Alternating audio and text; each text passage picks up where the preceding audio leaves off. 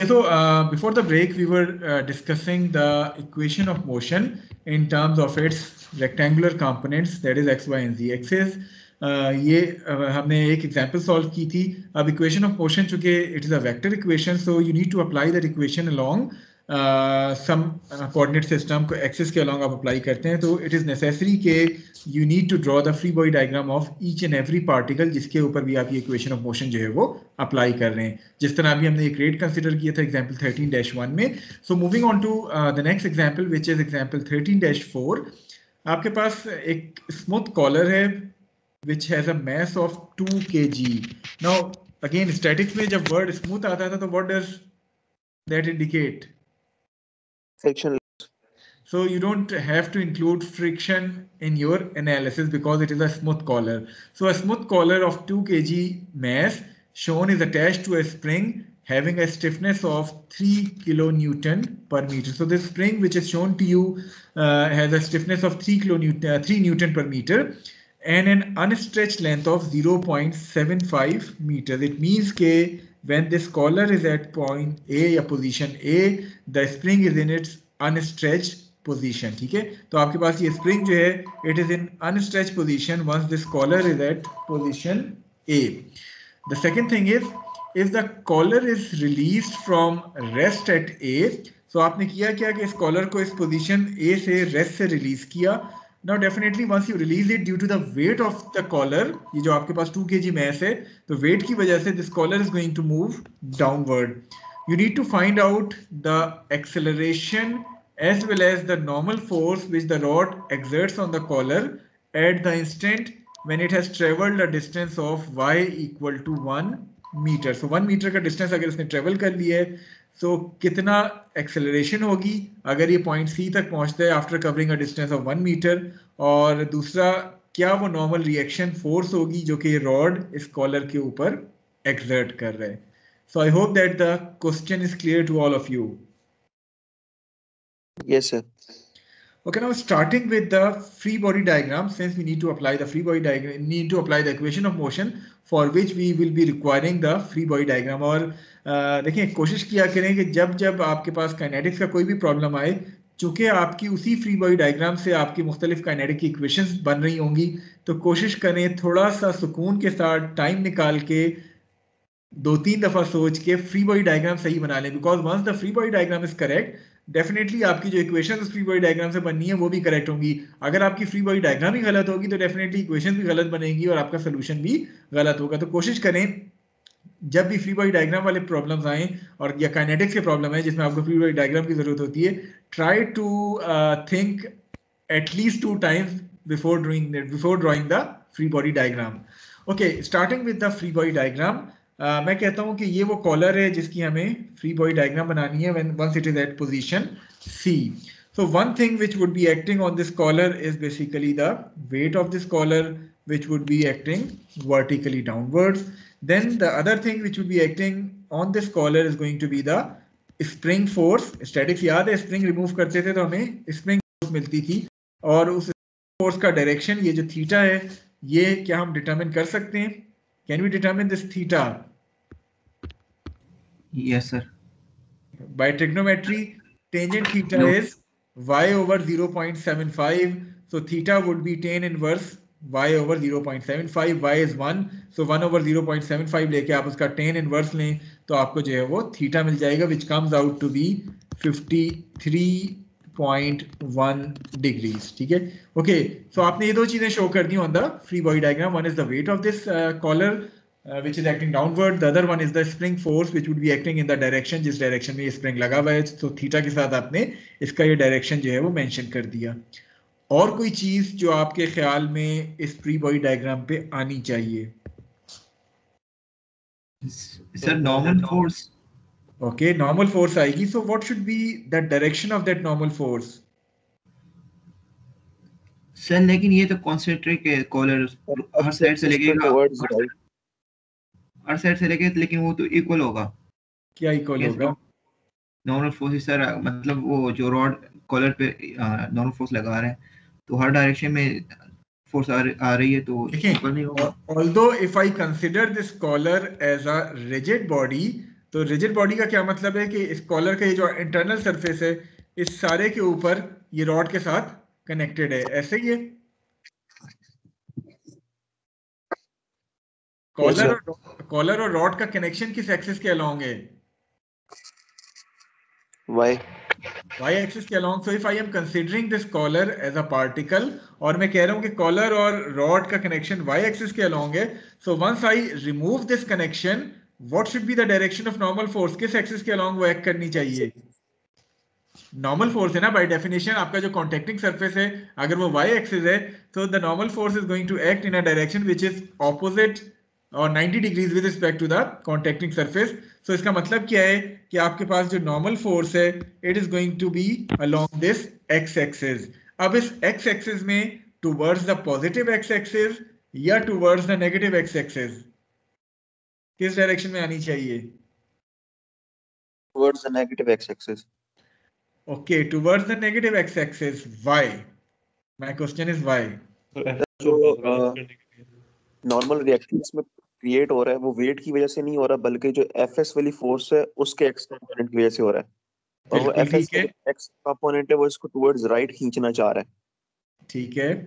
वो तो जो नॉर्मल फोर्स तो फिर अकॉर्डिंगली ये towards the negative X axis आनी चाहिए that's right so by common sense मैंने जज क्या किया कि बेसिकली नॉर्मल फोर्स जिस एक्सिस के अलोंग लग रही है उस एक्सिस के अलोंग सिर्फ़ एक फोर्स एक्ट कर रही है which is the X component of spring force और वो X component of spring force लग रहा है टुवर्ड्स द राइट जो कि एक तरह से स्कॉलर को राइट की तरफ़ खींच रहा है। अब एक्स डायरेक्शन में क्या कोई मोशन हो रहा है? No sir the collar is constrained to move along the y axis only. So it means कि आपके पास जो x डायरेक्शन में फोर्सेस हैं वो एक दूसरे को बैलेंस कर रही हैं। अगर मैं उस लॉजिक को अप्लाई करूँ तो ये fs का x कंपोनेंट और नॉर्मल फोर्स एक दूसरे के ऑपोजिट होनी चाहिए ताकि आपको समेशन fx जब करें तो ज़ीरो मिले, यानी अनबैलेंस फोर्स आपके पास कोई ना हो अलोंग द x एक्सिस तो कॉमन सेंस मुझे यही कह रही है कि मुझे नॉर्मल फोर्स का डायरेक्शन जो है वो टुवर्ड्स द नेगेटिव x एक्सिस बनाना चाहिए। तो मैं इसको फ़िलहाल के लिए यहाँ towards the negative X axis को नॉर्मल फोर्स के तौर पे बना लेता हूँ। लेकिन अगर सिचुएशन ज़्यादा कॉम्प्लिकेटेड हो जाए, आपसे जज ना हो रहा हो कि ये पॉजिटिव एक्स एक्सिस में आनी चाहिए या नेगेटिव एक्स एक्सिस में तो आप इनमें से किसी एक डायरेक्शन में इसको अज्यूम कर सकते हैं। वही जो तरीका हम स्टैटिक्स में यूज़ करते थे it is an unknown force बाकी तमाम चीज़ें आपको नोन है। There is only one unknown force which is the normal reaction force तो आप जिस डायरेक्शन में भी अज्यूम करें, आखिर में अगर उसका साइन पॉजिटिव मिल जाए it mean your assumption is correct अगर साइन नेगेटिव मिल जाए तो you are going to reverse your assumption यहाँ तो हमें समझ आ रही थी, आसान था। कॉमन सेंस के साथ हम जज कर सकते थे, लेकिन इन केस का कभी आप जज ना कर पा रहे हो तो assume it in either one of these direction either toward the positive X और the negative X axis solve it apply the equation of motion और if your answers come out to be positive NC की value positive आ गई assumption correct है NC की value negative I so you are going to reverse your assumption. I hope that this point is clear to all of you बहुत ज़्यादा सोचने की ज़रूरत नहीं है कि आपके पास एक अनोन है उस पर आप दस मिनट लगा दें कि इसका डायरेक्शन क्या होना चाहिए। नहीं एक आध मिनट लगाए और उसके बाद नहीं समझ आ रहा तो कोई एक डायरेक्शन अज्यूम कर लें। Is it correct is is it clear to all of you yes sir okay so our free body diagram is now complete we need to now apply the equation of motion so moving towards the solution of this problem the coordinate system which we are going to use here is positive x-axis which is defined towards the right. And since all the motion is towards the downside, so instead of taking positive y upward, we have taken the positive y as downward so that हमें खामखा में negative sign हर चीज के साथ जो है वो ना लगाना पड़े so the axis system which are using is positive right and positive downward So applying the equation of motion, which is summation fx equal to max, as we have discussed earlier, the forces which are acting along the x-axis is one is this force nc, normal reaction force that would be acting towards the negative x-axis.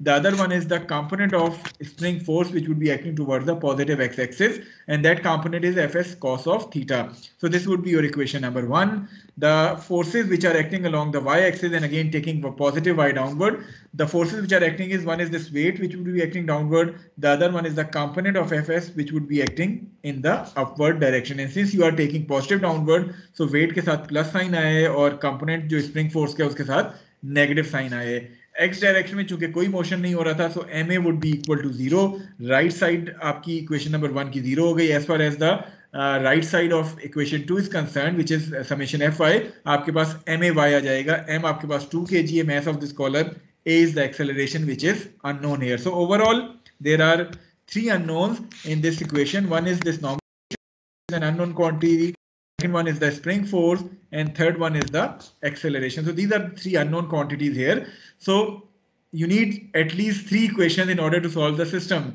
तो वो तीसरी equation आपको कहां से मिलेगी वो तीसरी equation आपको स्प्रिंग फोर्स से मिलेगी F S equal to K S और अगर आपको याद हो स्टैटिक्स में हमने पढ़ा भी था कि स्प्रिंग फोर्स जो है it is going to be three into L minus L not where three is the value of K and L minus L not के स्प्रिंग पे अपनी अनस्ट्रेच लेंथ से कितनी चेंज आ रही है once this collar has move to position C so L minus L not आपको find करना है. This L not which is the unstretched length of the spring it is given to you as zero point seven five जहाँ तक ताल्लुक इस length L का है तो बेसिकली वो लेंथ ये आपको रिप्रेजेंट हो रही है।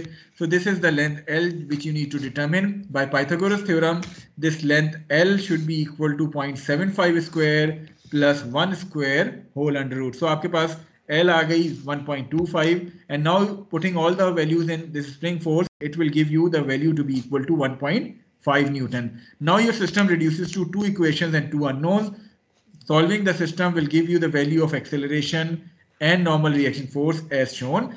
Again, the normal reaction force comes out to be a positive quantity. It means that our assumed direction of NC is correct and it is basically acting along the x-axis. Is it clear to all of you? कोई question कोई query जो आप पूछना चाहें clear है sir clear है okay now moving on to a slightly uh, more complicated problem which is problem 13-16 और उसके बाद हम मजीद मुश्किल प्रॉब्लम पे जाएँगे and then the topic is going to be over हमने दो एग्जांपल्स कर ली दो प्रॉब्लम्स कर लेंगे. सो प्रोबेबली रिमेनिंग प्रॉब्लम्स को आप as a non submitted homework के तौर पे ले सकते हैं. ऑलरेडी आपको एक सबमिटेड होमवर्क सबमिटेड असाइनमेंट जो है वो इस वीक कही गई है which is assignment number one जो कि आई होप कि तमाम लोगों ने देख ली होगी. चार प्रॉब्लम्स हैं. Relevant to different topics of chapter number twelve वो आपने सॉल्व करने हैं और बाय संडे थर्टीन दिसंबर आपने वो सबमिट करवाने okay problem thirteen dash sixteen क्या है a man pushes on the 60 pound crate with a force F.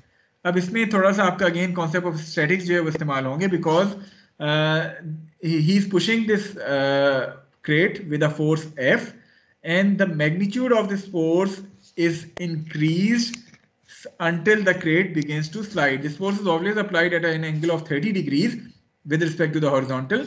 लेकिन मैग्नीट्यूड उसका फिक्स नहीं है, बल्कि आप स्लोली स्लोली इस f का मैग्नीट्यूड जो है वो इंक्रीज करें from zero onward until begins to आप और काइनेटिक इन्वॉल्व होंगी।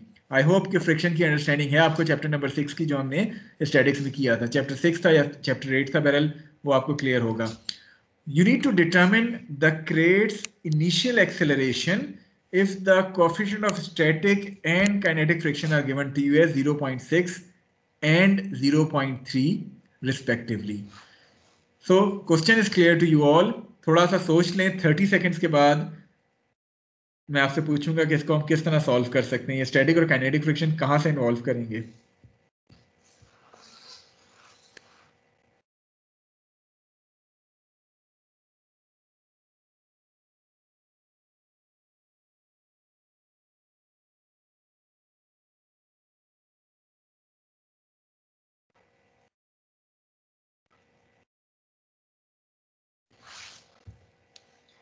जी any one volunteer to give me a solution किस तरह सॉल्व किया जा सकता है? सबसे पहले चलिए let consider the free body diagram of this particle so इस पार्टिकल के ऊपर एक तो ये फोर्स एक्ट कर रही है F the second thing which would be acting on this particle is the weight of the particle next thing is going to be the normal reaction force which would be acting in this direction what about the force of friction in what direction this force would be acting along negative X axis So this force of friction would be acting in this axis. Once the crate is stationary, this would be static friction force.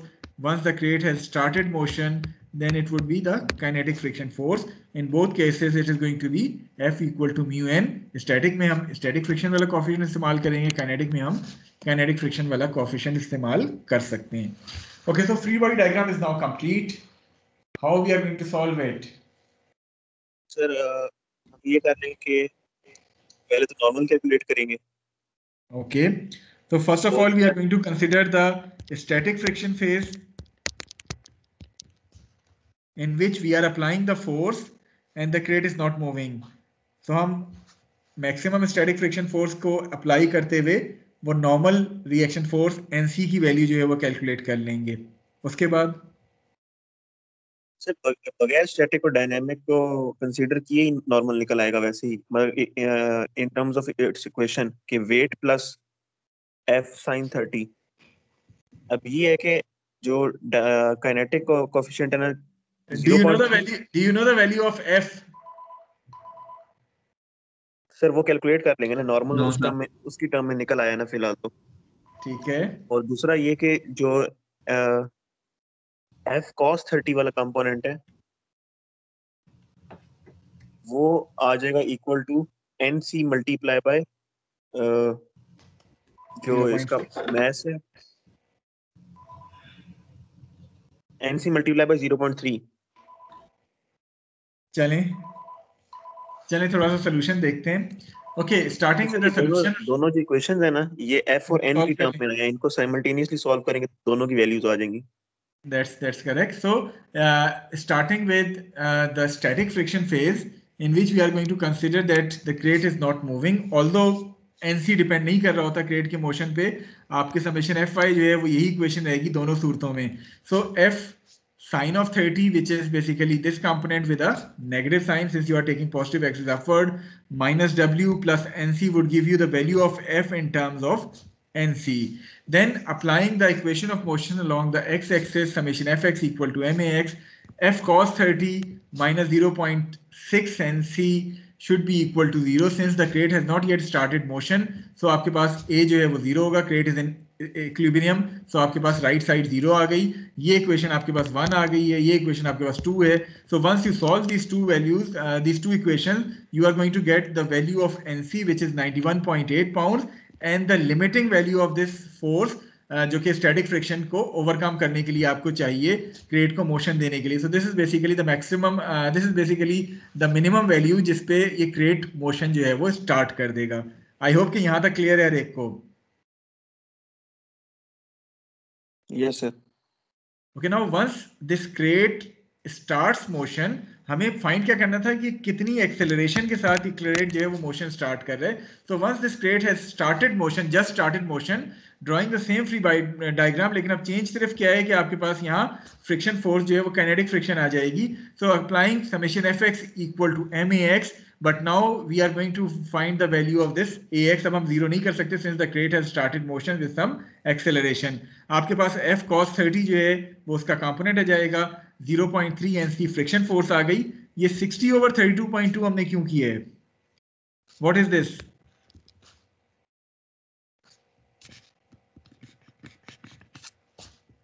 it is basically mass आपको जो यहाँ दिया हुआ था, अगर हम question की statement पढ़ें it was a 60 pound crate जब जब आपको अगर याद हो स्टैटिक्स में हम पाउंड्स की बात करते थे तो बेसिकली हम ये पाउंड फोर्स की बात कर रहे होते थे। इसको मैथ में कन्वर्ट करने के लिए हम इसको रेलिवेंट g की वैल्यू से जो है वो डिवाइड करते थे because w equal to m g m equal to W over g so w is given to us as 60 so in order to find out m it is going to be 60 over g. तो हमने 60 over g के तौर पे इसको apply करते हुए जो है वो आ, बाकी चीज़ें डिटरमिन की हैं। Is it clear to you all so acceleration comes out to be 14.78 clear है ये चीज़? यस कोई चीज़ जो ना समझ आई हो। स्टैटिक और काइनेटिक फ्रिक्शन का मतलब समझ आ गया यहाँ हमने पहले कंसिडर किया और वो लिमिटिंग वैल्यू फाइंड की एफ़ की जिसके ऊपर मोशन जो है वो स्टार्ट होना था और उसके बाद फिर हमने उसी वैल्यू को इस्तेमाल कर लिया in order to find out the value of acceleration so static और काइनेटिक फ्रिक्शन का कॉन्सेप्ट यहाँ इस्तेमाल हुआ है। काइंडली अगर वो आपको भूल गया है तो एक दफ़ा दोबारा स्टैटिक्स की बुक से गो थ्रू हो जाए बिकॉज़ जब जब हम काइनेटिक्स की बात करेंगे और फ्रिक्शन की बात करेंगे और इस तरह फोर्स वेरी कर रही होगी तो फिर हमें वो स्टैटिक और काइनेटिक दोनों चीज़ें अप्लाई करनी पड़ेंगी। So any query relevant to this problem no sir okay चलिए अब फाइनल प्रॉब्लम की बात करते हैं which is quite complicated because ये आपके मुख्तलिफ़ कॉन्सेप्ट अभी तक के इस कोर्स के जो है वो चेक करेगा। Problem thirteen dash twenty seven आपके पास इसमें दो ब्लॉक्स हैं block A As well as block B so you need to determine the required mass of block A so ये आपके पास जो ब्लॉक ए है इसका वो कितना मैस होना चाहिए M A so that when the system is released from rest, it moves the 5 kg block B 0.75 meters up the smooth inclined plane in time t equal to 2 seconds. So आपका वो ए का कितना mess होना चाहिए कि जब आप इस सिस्टम को रेस्ट से रिलीज़ करें तो it will move this block B 0.75 metres up the smooth incline in time t equal to 2 seconds neglect the mass of the pulleys and the cord. So, थोड़ा सा इस फिगर को देखें, गौर करें, and then we are going to discuss the solution with you.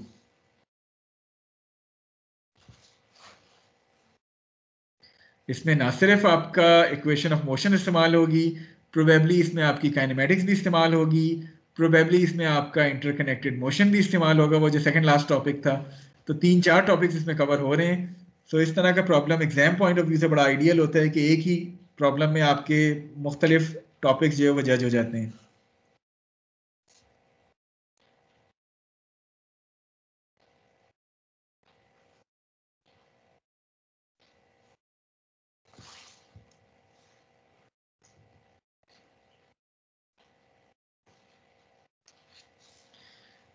Okay okay, चलें अब मैं ऐसा करता हूँ कि वॉल्टियर के बजाय let me ask question from you people ताकि थोड़ा सा मुझे अंदाज़ा हो जाए कि किसके समझ आ रहा है और किसको नहीं आ रहा। Okay starting with Musab Asim Musab मी अपने आप को अनम्यूट करें और मुझे बताएँ कि इसमें हम किस तरह इसको सॉल्व कर सकते हैं। कोई आइडिया दें? Musab Asim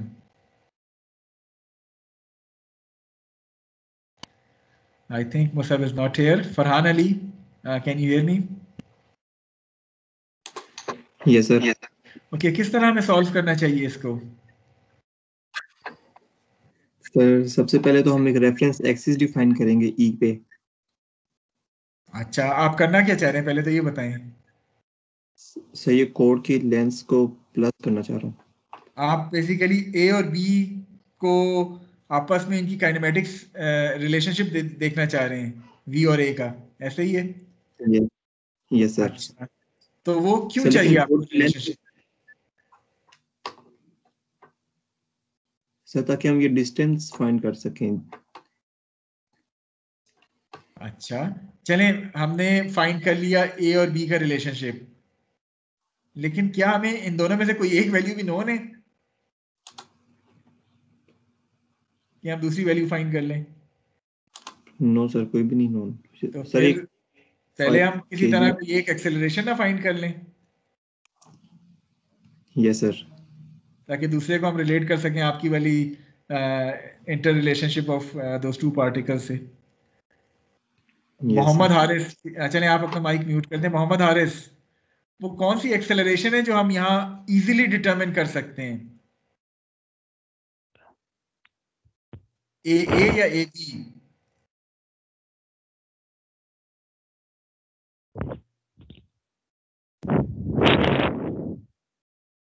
सर ए की। एक ही डिटरमिन कर सकते हैं। कैसे करेंगे? थोड़ा सा मुझे आइडिया देंगे।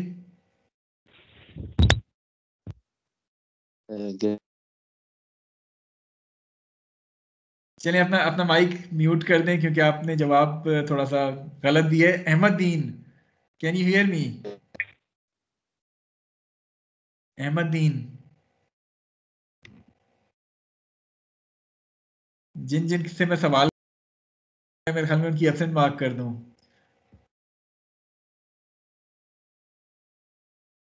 Excuse me sir ji.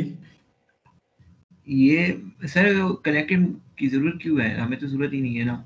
देखिए अभी ज़रूरत है या नहीं तारिक काइंडली अभी आप म्यूट कर दें। आपकी बारी काफ़ी आ चुकी है। Let me ask question from those who have not yet contributed in today's lecture ठीक है? Okay Mohammad Haris Yazdani Can you hear me? Present sir अच्छा नहीं प्रेजेंट तो है लेकिन ये बताएँ कि सॉल्व किस तरह करेंगे इसको? एक्सेलरेशन कौन सी आसान है फाइंड करना? ए की या बी की?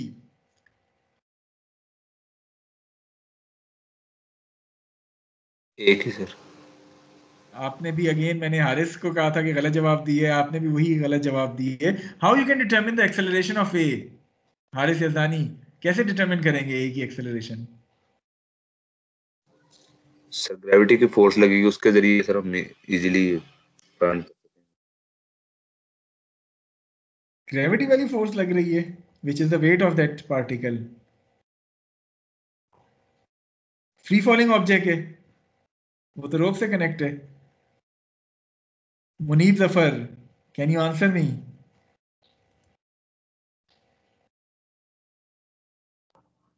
yes sir अच्छा कैसे फाइंड करेंगे? ए ए या A B sir B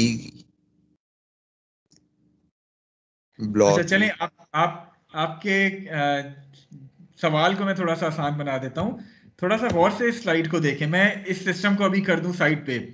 मैं आपसे कहता हूँ कि आपके पास एक अदद पार्टिकल है, जो कि स्ट्रेट लाइन मोशन कर रहा है से स्ट्रेट लाइन मोशन कर रहा है। ये वाला पार्टिकल है and it is travelling in a straight line motion along the x axis ये पार्टिकल जो है, वो 0.75 मीटर्स का डिस्टेंस कवर कर रहा है in time t equal to two seconds आप इसकी एक्सेलरेशन फाइंड करें तो is there any kinematic relationship जिसकी मदद से आप इसकी एक्सेलरेशन फाइंड कर सकते हैं?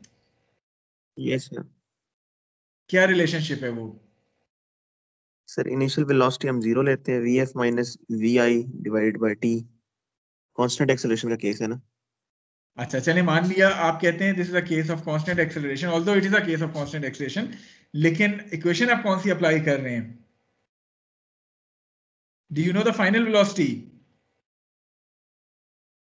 अच्छा मैं डिस्टेंस बताती हूँ। तो फिर अब बताएँ कौन सी इक्वेशन अप्लाई करें। ये एक minute sir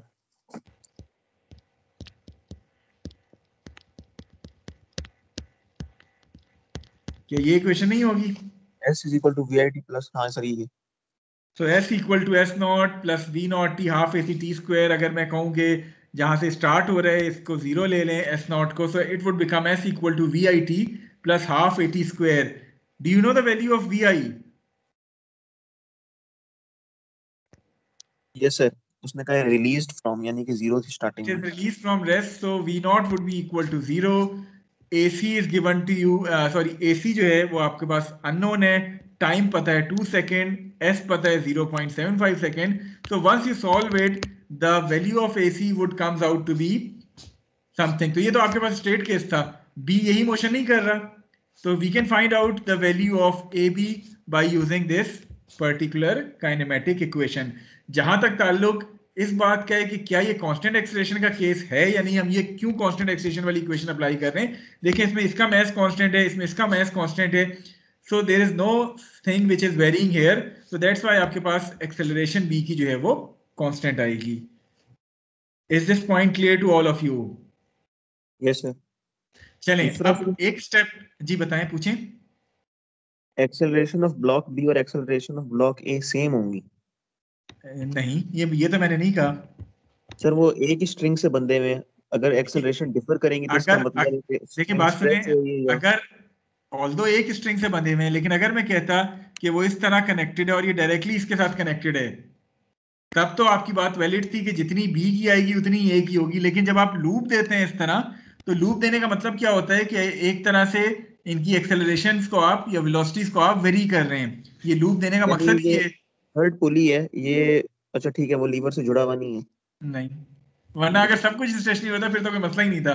This pulley D is also moving up and down जिसकी वजह से आपका ब्लॉक ए जो है वो अप एंड डाउन मूव कर रहा है। पुली ई और सी जो है वो फिक्स हैं, लेकिन पुली डी जो है वो मोशन कर रहे हैं, ठीक है? सो अब हम क्वेश्चन के ऊपर दोबारा वापस आते हैं। मैं let me clear the screen हमने एक पार्ट तो कर लिया कि हमने कहा किसी तरह काइनेमेटिक्स को इस्तेमाल करते हुए we can determine the acceleration of B अगला स्टेप क्या होना चाहिए? ए भी हमें नोन हो गया। Who is the volunteer want to discuss the next step of the solution इस ए बी के साथ हमने करना क्या है? क्या इसको मैंने ए ए के साथ रिलेट करना है? सर यहाँ से हम वो यहाँ से फोर्स निकाल दिए तो उधर हमें लग जाएगा कि कितनी फोर्स लग रही है इस डायरेक्शन में। फोर्स मींस टेंशन निकाल लें यस सर ठीक है? चले ए बी की वैल्यू मिल गई। आपने इसकी फ्री बॉडी डायग्राम बनाई और इसकी फ्री बॉडी डायग्राम बनाने के लिए जब आपने समेशन एफ़ वाई सपोज़ में कहता हूँ ये हमारी y axis summation F y किया, आपको से टी की वैल्यू जो है वो नॉन हो गई। उसके आगे ही कहानी।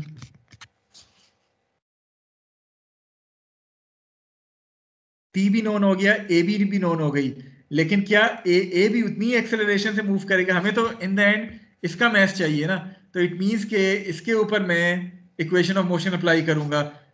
इसके ऊपर इक्वेशन ऑफ़ मोशन अप्लाई करने के लिए जब मैं इसकी फ्री बॉडी डायग्राम बनाऊँगा ए की तो फ्री बॉडी डायग्राम इसकी कुछ इस तरह की होगी कि ऊपर थ्री टी लग रहा होगा, नीचे इसके डब्ल्यू ए लग रहा होगा और साथ साथ इक्वल टू ज़ीरो नहीं करना स्टैटिक्स आप नहीं पढ़ रहे साथ साथ ये किसी ना किसी एक्सेलरेशन से जो है वो मूव कर रहा होगा। So summation F y equal to m a y होगा आपके पास। अब क्या ये ए ए और ए बी को मैं किसी तरह रिलेट कर सकता हूँ?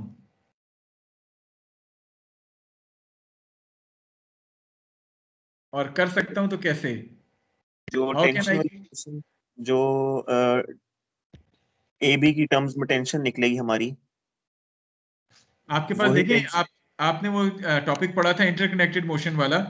अगर मैं इसको डेटम कंसिडर कर लूँ इसको मैं एस बी कंसिडर करूँ और इसको मैं एस ए कंसिडर करूँ तो can I for the cord and what that equation should look like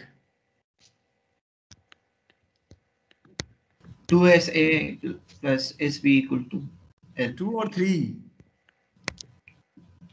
sir three sorry So 3SA plus SB should be equal to L. So this will you give you a relationship between AA and AB. So अब आपको A AB का relationship मिल गया अब आपका solution जो है वो थोड़ा सा आसान हो जाएगा So let us move to the solution of this problem.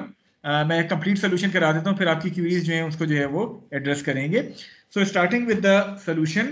Uh, first of all, जिस तरह अभी हमने discuss किया, we are going to draw the free body diagram of this block B, which is shown to you here. The forces which are acting here are the weight of the block B, the normal reaction force and tension in the cord. चूँकि smooth block था surface smooth था तो friction नहीं आई in case के smooth ना होता तो then the force of friction would then act in this particular direction but right now since the block is smooth so there isn't going to be any force of friction so applying the equation s equal to x naught plus v naught t half ac t square it will give you the acceleration of b to be equal to 0.375 simply आपने kinematics का इस्तेमाल करते हुए ये a b जो है वो find कर ली है then applying the equation of motion on this block b along the y axis summation fy equal to ma y y direction में जो फोर्सेस एक्ट कर रही हैं सॉरी ये x डायरेक्शन में मैं अप्लाई कर रहा हूँ। X डायरेक्शन में जो फोर्सेस अप्लाई हो रही हैं this not y this summation F x equal to m x because I am taking the axis direction as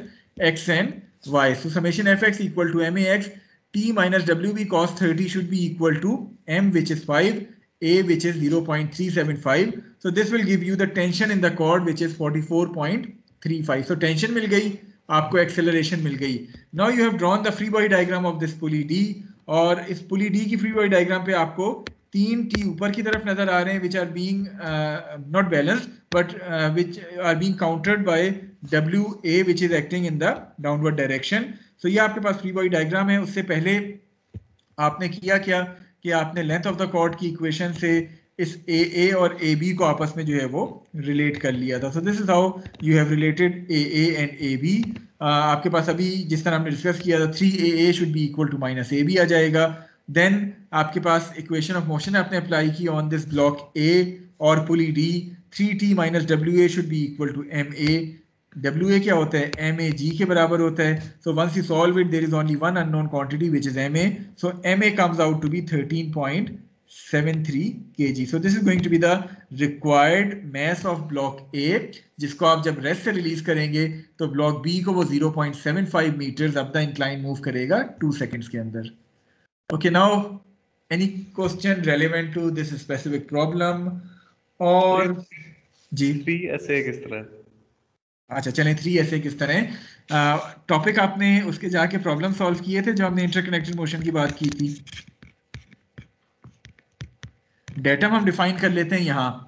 इस डेटम से यहाँ तक मैं पोजीशन कोऑर्डिनेट डिफाइन करता हूँ एस बी यहाँ तक तो कोई इशू नहीं है।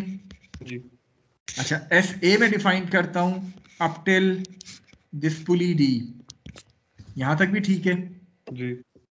अच्छा now the length of the chord should be equal to this length plus this length plus this length suppose मैं कहता हूँ कि आपके पास ये जो स्मॉल लेंथ है इस लिवर की इसको मैं कहता हूँ this is say X so now the length of the chord would be equal to S A plus S A minus X multiply by two plus S B should be equal to L यही है length of the cord जी। अब इसमें x क्या है? कि x very कर रहा है? कांस्टेंट है सो so कांस्टेंट को मैंने इस इक्वेशन में शामिल ही नहीं किया। In this two plus S would become three plus S equal to L ठीक है? Okay any other question which you want to ask कोई सर पूछे। ये एक्सेलरेशन ए और ए इक्वल होगा?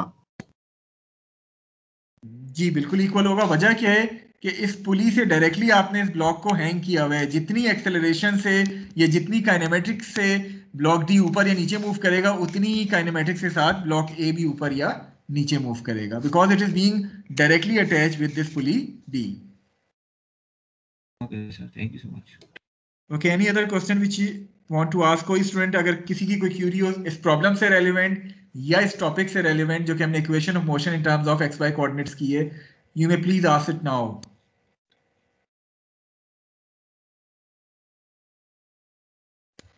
okay with this our uh, this week lectures are over inshallah next week आपका quiz number one होगा जिस तरह मैंने कहा है from the topic of uh, straight line motion first and second topic of chapter 12 continuous and erratic motion वो दोनों cover होंगे उस quiz number one में uh, quiz किस क्लास में लें क्या सजेस्ट करते हैं मंडे वाली क्लास में या ट्यूसडे वाली क्लास में तो वन क्रेडिट और वाली शायद आसान होता है या फिर पता नहीं देखते हैं। क्या क्लास सर, हम- सजेस्ट करती है? सीआर को बता देंगे सर चलें सीआर को बता दें जो मुझे टाइमली बता दे ताकि मैं उसी हिसाब से क्विज प्रिपेयर कर लूँ। कल तक बता दे कि आपने मंडे को क्विज देना है या ट्यूसडे को देना है। ऑल दो ट्यूसडे को इसलिए आसान है कि दो आवर वाली क्लास होती है थोड़ी सी हम थ्योरी पढ़ लेंगे और फिर बाकी टाइम पे क्विज कंडक्ट कर लेंगे। ठीक है? So with this we are going to stop the recording of today's lecture साथ साथ मैं आपकी अटेंडेंस शीट डाउनलोड कर लूँ।